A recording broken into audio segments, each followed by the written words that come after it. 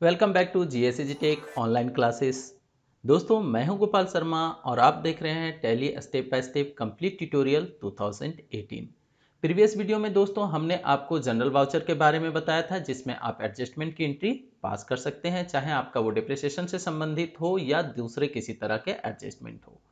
आज हम लोग इसी टॉपिक को आगे बढ़ाते हुए परचेज रिटर्न की एंट्री देखेंगे। परचेज रिटर्न यानी डेबिट नोट ये भी एक एडजस्टमेंट वाउचर होता है। तो चलिए इसके लिए हम लोग टैली को ओपन कर लेते हैं और समझते हैं कि डेबिट नोट का इस्तेमाल क्यों किया जाता है और क्या इसका बेनिफिट है।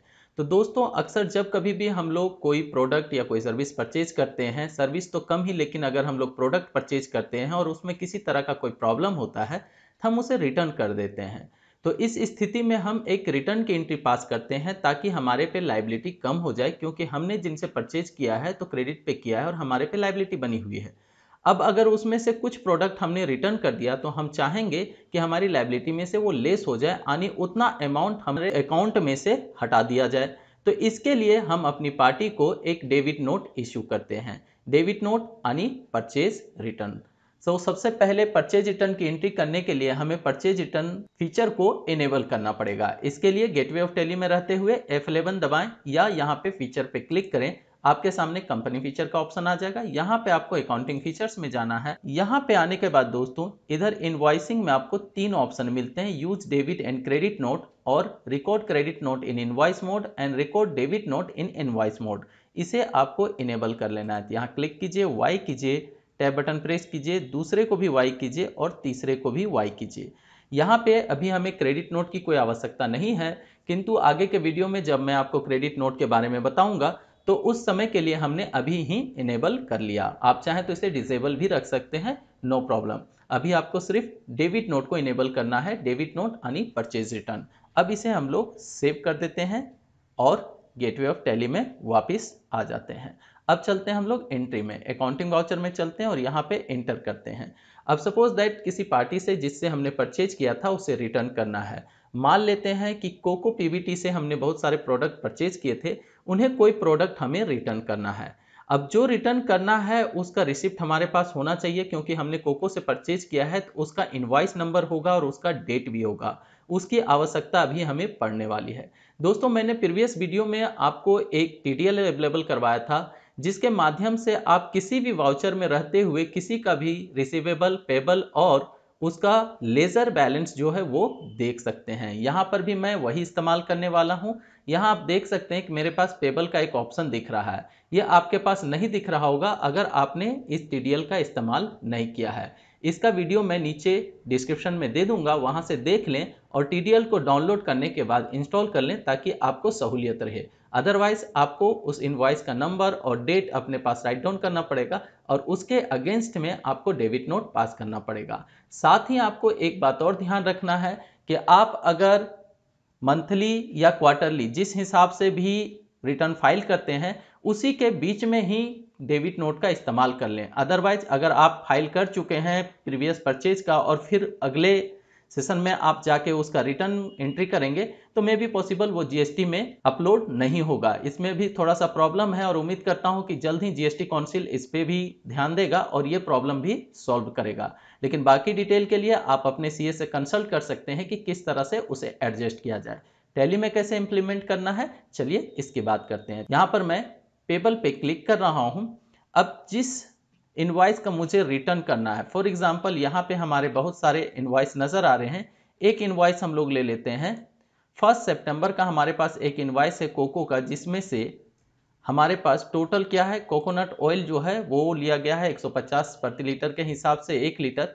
और लिंक स्मार्ट पेन लिया गया है। तो हम लोग चलिए कोको जो है, इसमें से एक लीटर रिटर्न कर देते हैं फुल टू फुल और उसका अमाउंट हम लोग अपने लाइबिलिटी में से लेस करवा देते हैं। इसका इन्वाइस नंबर हमें चाहिए। इनवॉइस नंबर यहाँ दिया हुआ है coco slash August zero zero nine और डेट कौन सा है दोस्तों? फ़र्स्ट सितंबर का। अब हमें ये एंट्री करनी पड़ेगी। अगर आप इस टीडीएल को इस्तेमाल नहीं करते हैं तो ये एंट्री आपको बाहर आते हुए जाना पड़ेगा डिस्प्ले में। डिस्प्ले में जाने के बाद आपको जाना है अकाउंट्स बुक में। अकाउंट्स बुक में जाने के बाद लेज़र में जाना है और लेज़र में जाने के बाद आपको कोको को ओपन करना है। जब आप कोको को ओपन करेंगे, यहाँ पर आपको वो सारा डिटेल मिल जाएगा कि कब किससे आपने परचेज किया हुआ है। तो यहाँ पे देखिए, सारी डिटेल हमारे पास दिख रही है। एक एक सारे डिटेल को हम लोग यहाँ से देख सकते हैं। हमारे पास टोटल जो है, ये फ़र्स्ट वाला इनवाइस, इसे हम लोग इंटर कर लेते हैं और डिटेल देख लेते हैं। यहाँ आप देख सकते हैं, कोको अगस्त 009 दिया हुआ है और हमने कोको ऑयल जो है, वो इससे परचेज किया था एक लीटर डेढ़ सौ रुपये प्रति लीटर के हिसाब से। यही चीज़ हमें चाहिए। और ये हमें आसानी से यहाँ पर पेबल पे क्लिक करने से मिल गया। अब हम लोग यहाँ से स्किप करते हैं और पहुँचते हैं अकाउंट वाउचर में। और अकाउंटिंग वाउचर में पहुँचने के बाद अब हमें ओपन करना है डेबिट नोट डेबिट नोट को हम लोग परचेज रिटर्न भी कह सकते हैं। तो डेबिट नोट का शॉर्टकट होता है कंट्रोल एफ़ नाइन इसे प्रेस करें। डेबिट नोट आपके सामने आ जाएगा। अब ये मांगेगा ओरिजिनल इनवॉइस नंबर साथ ही कब आप रिटर्न पास कर रहे हैं, सबसे पहले उसका डेट चेंज कर लें। ऐसा मानते हैं कि इसकी एंट्री रिटर्न की जो है वो एक महीने बाद है सितंबर के बाद अक्टूबर आता है तो हम लोग अक्टूबर ले लेते हैं फ़र्स्ट अक्टूबर की इसकी एंट्री है। एक दस हमने लिया इंटरप्रेस किया। अब यहाँ पे ओरिजिनल इनवॉइस नंबर हमें डाल देना है, आपको हमने बताया था पेबल का इस्तेमाल करके आप इनवॉइस नंबर देख सकते हैं। तो यहाँ में इनवॉइस नंबर दिख रहा है coco August zero zero nine इसे हम लोग ले लेंगे सी ओ सी ओ ऑब्लिक ए यू जी और ज़ीरो ज़ीरो नाइन ये इनवॉइस नंबर था उसका। टैब बटन प्रेस करेंगे। जिस तारीख का वो इन्वाइस था फ़र्स्ट सितंबर का था तो हमने फ़र्स्ट सितंबर लिया, टैब बटन प्रेस करेंगे। अब पार्टी का नाम यहाँ पे लेंगे, किसे हम रिटर्न करने वाले हैं तो कोको को हमने टैब बटन प्रेस किया। यहाँ पे अगर आपका एलआर नंबर वगैरह मोटर व्हीकल नंबर डेट वगैरह है तो वो सारा चीज़ फ़ीड कर दें और आगे बढ़ जाएँ। ये महाराष्ट्र की कंपनी है, इसका मतलब इसमें हमें आईजीएसटी चार्ज करना पड़ेगा, क्योंकि हमारी कंपनी झारखंड में है तो इस तरह से ये एक इंटर स्टेट बेस्ड ट्रांजेक्शन बनता है। तो यहाँ पे हम लेंगे परचेज टैब बटन प्रेस करेंगे। दोस्तों स्पेस प्रेस करते हुए प्रोडक्ट का चुनाव करेंगे जो हमें रिटर्न करना हो। तो हमें रिटर्न करना है कोकोनट ऑयल इसे हमने ले लिया। एक लीटर हम रिटर्न कर रहे हैं। एक लीटर हमने परचेज किया था। और टैब बटन प्रेस करते हुए आगे बढ़ेंगे। और यहाँ पे नेक्स्ट जब हम लोग टैब बटन प्रेस करेंगे तो चार्ज करेंगे आईजीएसटी अब दोस्तों, एक और बात होती है कि डेबिट नोट का इस्तेमाल एडजस्टमेंट के लिए भी किया जाता है। सपोज़ दैट आपको पार्टी बाद में जाके किसी तरह का डिस्काउंट देती है तो उस डिस्काउंट को भी आप मैनेज करने के लिए डेबिट नोट का इस्तेमाल कर सकते हैं। तो यहाँ पे टैब बटन प्रेस करेंगे।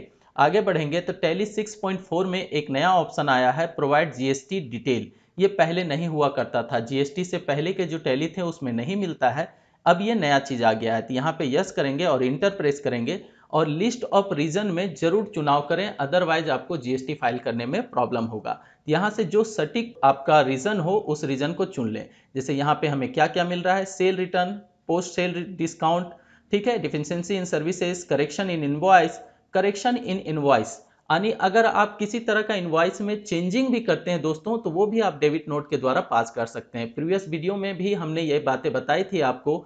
अभी से लगभग दो तीन महीने पहले जब ये बार बार बातें आ रही थी कि अगर किसी तरह का चेंजिंग होता है इनवाइस में सर तो उसकी एंट्री कैसे करें? तो हमने कहा था कि रिटर्न की एंट्री पास करते हुए आप करेक्शन इन इनवाइस ले सकते हैं और वहाँ पे आप शो कर सकते हैं कि इस इनवाइस में किसी तरह का चेंजिंग किया गया है। लेकिन फ़िलहाल हमारे पास यहाँ पे किसी तरह का डेबिट नोट का नहीं है तो हम लोग यहाँ से अदर का चुनाव करेंगे। टैब बटन प्रेस करते हुए यहाँ पर सप्लायर का डेबिट क्रेडिट नोट नंबर मांगा जा रहा है तो हम लोग वो डाल देंगे। अगर हो हमारे पास तो सप्लायर का क्रेडिट नोट नंबर हमारे पास नहीं है तो टैब बटन प्रेस करते हुए आगे बढ़ जाएँगे और इस एंट्री को कंप्लीट कर देंगे। तो इस तरह से आप डेबिट नोट की एंट्री पास कर सकते हैं और ध्यान रखें कि वहाँ पे रीजन का चुनाव सही करें। अब इसका इफ़ेक्ट देखते हैं दोस्तों, हमें कहाँ कहाँ पढ़ने वाला है। तो सबसे पहले हम लोग चलते हैं डिस्प्ले में। उसके बाद अकाउंट्स बुक में चलते हैं। अकाउंट्स बुक में जाने के बाद हम लोग लेज़र में चलते हैं और लेजर में हम लोग ले लेते हैं कोको पीवीटी का। सबसे पहले यहाँ पे हम लोग इफ़ेक्ट देख लेते हैं। अभी हमारा लिया हुआ है पीरियड फ़र्स्ट अक्टूबर का। एफ़ टू बटन करेंगे यहाँ पे प्रेस और यहाँ से डेट चेंज कर लेंगे। सपोज़ दैट फ़र्स्ट सेप्टेम्बर से लेके हमने फ़र्स्ट अक्टूबर तक ले लिया। अब आप देख सकते हैं कि यहाँ पे हमें एक एंट्री नज़र आ रही है, डेबिट नोट की, जिसमें एक सौ रुपये पचास पैसे की डेबिट एंट्री नज़र आ रही है। दोस्तों, आपके बहुत सारे कमेंट मिल रहे हैं कि, सर, हमें जीएसटी में रिपोर्ट नहीं नज़र आ रहा है या डे बुक में रिपोर्ट नज़र नहीं आ रहा है। तो आपने वहाँ पे पीरियड का चुनाव गलत किया है। जैसे अभी आपने देखा कि यहाँ पे हमारा फ़र्स्ट अक्टूबर सेलेक्ट किया हुआ था तो हमें प्रीवियस की एंट्री नज़र नहीं आ रही थी। तो आप F2 प्रेस करके अपना पीरियड जो है वो चेंज कर लें तो आपको पूरी एंट्री नज़र आने लगेगी। जहाँ से जहाँ तक आप चाहते हैं, वहाँ से वहाँ तक का पीरियड में डेट आप फिट कर दें। तो यहाँ पे हमें तो एंट्री नज़र आ रही है दोस्तों। अब स्केप करते हैं और चलते हैं वापिस डिस्प्ले में और यहाँ पहुँचते हैं स्टेचरी रिपोर्ट्स में और यहाँ जीएसटी में चलते हैं और हम लोग रिटर्न की एंट्री देखते हैं।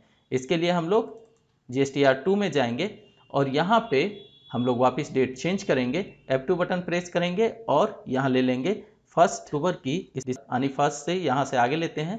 अब आप देख सकते हैं हमारे पास क्रेडिट डेबिट नोट की एक एंट्री दिख रही है डेढ़ सौ रुपये का माइनस करते हुए। यहाँ पे आपको सारा का सारा डिटेल नज़र आ जाता है, किससे रिटर्न किया गया, कौन सा रिटर्न किया गया है। तो इस तरह से आप सारी एंट्री डेबिट नोट की पास कर सकते हैं और इजिली इसको अपने जीएसटी रिपोर्ट में भी दिखा सकते हैं। फिर भी अभी जीएसटी काउंसिल में थोड़ी सी प्रॉब्लम चल रही है, वहाँ पे डेबिट नोट पास नहीं होता। अगर वो सेम मंथ या सेम क्वार्टर के अंदर आप पास नहीं कर देते हैं। तो उम्मीद करता हूँ दोस्तों, ये वीडियो आपके लिए हेल्पफुल होगा। प्लीज़ वीडियो को लाइक करें, दोस्तों के साथ शेयर करें और ऐसे ही टॉपिक के अलग वीडियो देखने के लिए हमारे चैनल के प्लेलिस्ट का आप इस्तेमाल कर सकते हैं। प्लेलिस्ट के लिए आप वीडियो के नीचे जी टेक लिखा हुआ मिल जाएगा। उस पर क्लिक करें, आप हमारे मेन चैनल पेज पे आ जाएँगे। यहाँ आने के बाद आप प्लेलिस्ट पे क्लिक कर दें और स्क्रॉल करें। यहाँ पर आपको तरह तरह के अलग अलग टॉपिक के प्लेलिस्ट मिल जाएँगे, जिनमें आपका कोरल ड्रो भी है टेक्निकल सीरीज़ भी है एक्सेल भी है। तो पुराने जीएसटी से संबंधित बहुत सारे वीडियो हमने पहले भी दे रखे हैं और अभी एक नया ट्यूटोरियल सीरीज़ हमने स्टार्ट किया था 2018 जिसमें हम टेली को स्टेप बाय स्टेप लेके चल रहे हैं। आप यहाँ से इसे क्लिक करें। क्लिक करने पे आपके सामने एक नया पेज खुल के आ जाएगा, जहाँ पे आपको सारे के सारे वीडियो स्टेप बाय स्टेप नज़र आएँगे। आनी one two three four five से लेके अभी तक आनी ट्वेंटी फोर वीडियो जो अपलोड हो चुके हैं 25 वीडियो तक वो सब नज़र आएँगे। तो आप स्टेप बाय स्टेप सारे वीडियो को देख ले दोस्तों तो, तो आपका टैली का जो प्रॉब्लम है वो उम्मीद करता हूँ कि सॉल्व हो जाएगा। तो दोस्तों हम मिलते हैं नेक्स्ट वीडियो में तब तक आप देखते रहें सीखते रहें वीडियो को लाइक करें दोस्तों के साथ शेयर करें और फ़र्स्ट टाइम हमारे अगर चैनल को देख रहे हैं तो सब्सक्राइब करना ना भूलें। बाय टेक केयर जय हिंद।